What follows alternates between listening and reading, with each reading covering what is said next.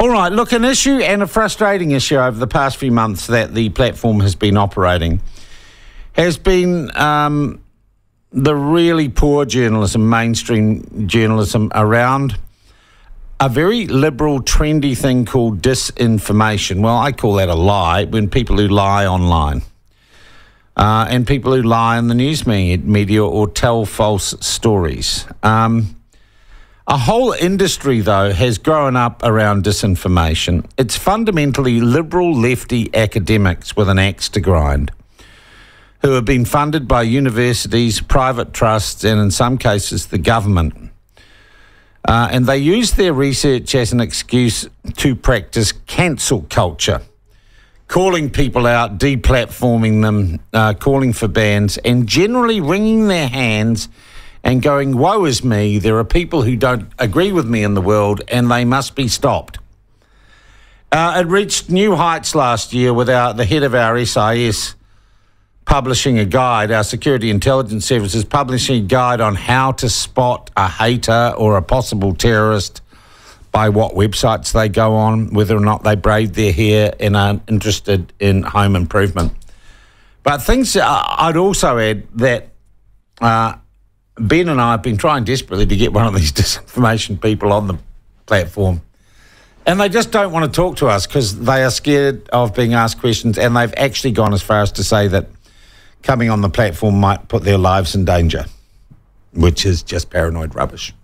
But there is an even more disturbing development. And Ben Espiner, executive producer of um, Mornings on the Platform, joins me now. I just you yeah, quite excited. you didn't tell me you promoted me. That's uh, fantastic. not a promotion being because you're not an executive above anyone else. You're still just on can your I own. still call myself an executive producer. You can call okay. yourself well, if that fine. makes you feel better. Makes All me right. feel fantastic. Now, Ben Firstly, you would join with me in saying the disinformation people, and we're talking about Kate Hannah and others they really do not like engaging with anyone who's going to ask them a real question, do they? And we have tried and tried and tried yeah, to talk to them. Not at all. And it seems like they've gone a little bit quiet since their botched media briefing last year, which the platform, our uh, uh, more regular listeners will know, were excluded from purposefully.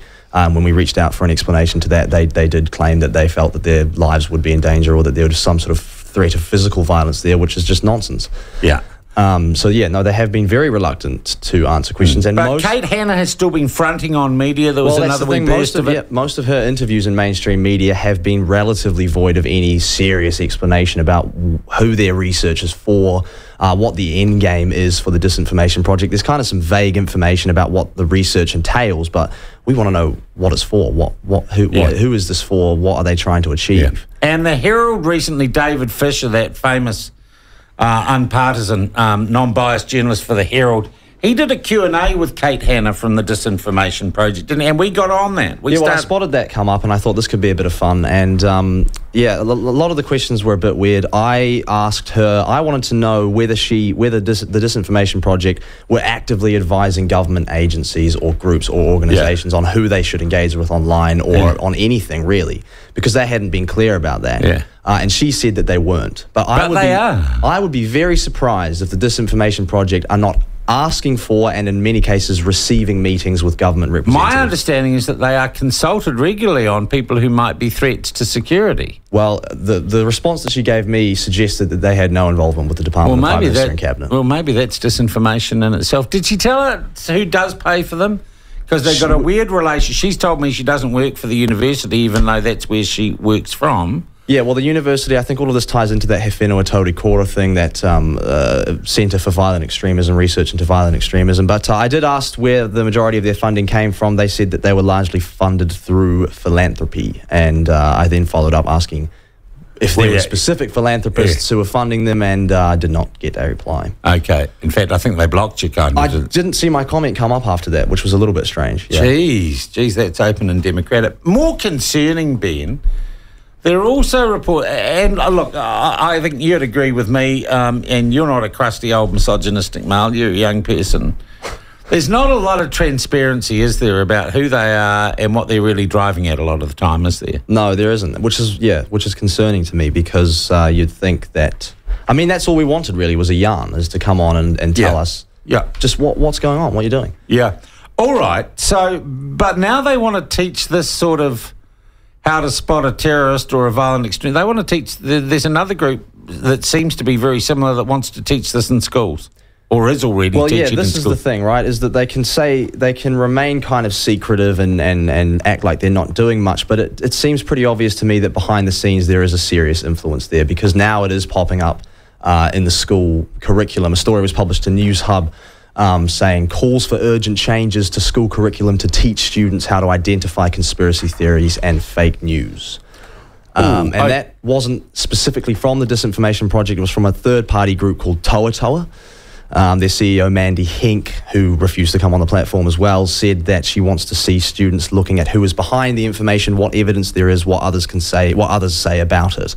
Um, and to me, I mean, I could be wrong, but that seems as though it's been standard practice in school for a long time, and it used to be called just peer reviewing your sources. I mean, cross referencing what you're looking at, getting the information behind it, and seeing what other people are saying is not really a new thing. So, what concerns me is that is that actually what they're doing, or, or uh, is it a new thing now titled disinformation where they bring into it uh, this rubbish about braided hair, Pinterest accounts, and Yeah. the like? All right. Uh, do we know who funds that that group with the another yet another Maori name? Uh, no, we do not. No, I, I don't think they get government funding. But again, she has been reluctant to engage with me over email anyway, so I haven't had much information from her. All right, Ben. I do appreciate that it is difficult sometimes being a journalist, but I think in, on this issue and with the group of people, we're just hitting a brick wall of people who I, I don't think want to answer any hard questions. Or am I being cynical? Am I am I being a cynical old No, dog? there here? really isn't much information on it, which is, I mean, you know, it's fine if you're going to have a unit, a bunch of academics talking about something and discussing things, but Yeah.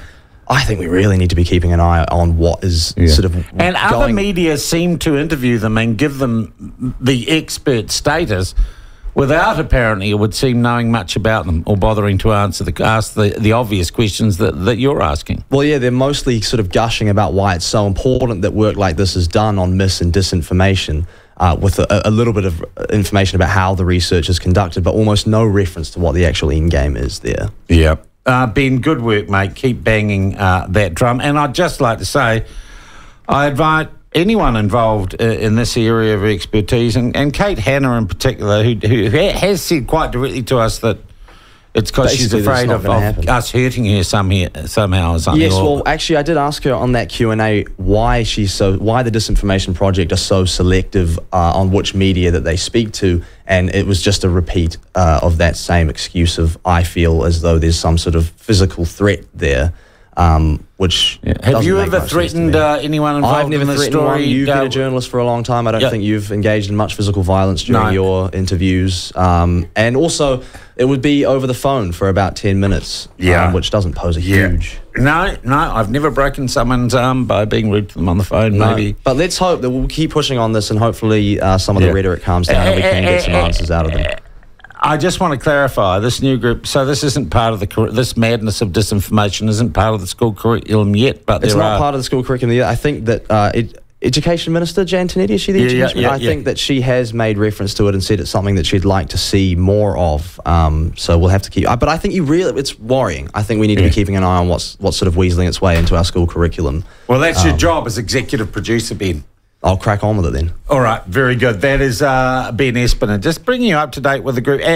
And just because you won't engage with us doesn't mean we go away and we don't raise the concerns about you, Kate Hannah. And once again, I say, Kate, gosh, if you want to come in, we'll get a security guard for you if you're that paranoid.